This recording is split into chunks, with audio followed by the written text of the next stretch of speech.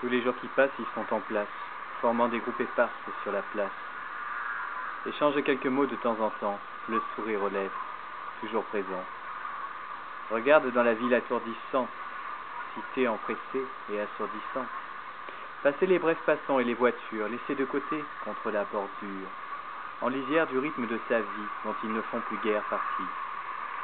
Leur pays évoque celui-là qu'ils quittèrent en une autre époque pour creuser dans nos terres. Et venir construire ces grands ensembles où en masse ils furent parqués ensemble, source de fierté pour la nation, symbole intense de modernisation. Que d'autres aujourd'hui cassent à la masse pour faire table rase et des décombres de problèmes sociaux qui les dépassent et d'un passé colonial qui encombre. Selon toutes les vraisemblances dans le bled de leur existence, jamais ils ne retourneront. Famille et amis payeront de leur corps l'expatriation. Peut-être est-ce mieux car là-bas le pays se change à tout va, s'y rendre les a dérangés, ici sont sentis étrangers. Ils préfèrent ne l'entrevoir qu'au travers de leurs souvenirs, en se parlant du temps d'avant, et se l'imaginer surtout en pensant au soleil brûlant. Un point dans le ciel, c'est tout.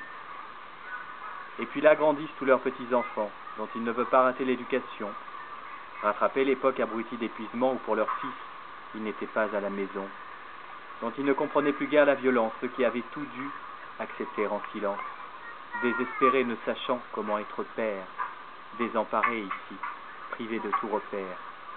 Aujourd'hui tout cela est du passé, et ce qui fut fait devait être fait, ce qui arriva devait arriver, et même tous les plus violents orages.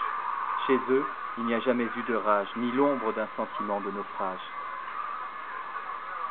Continueront donc de tourner les bus alentour d'eux figés dans leur rictus, immobiles comme sont des points fixes, en parole, hommes bien peu prolixes.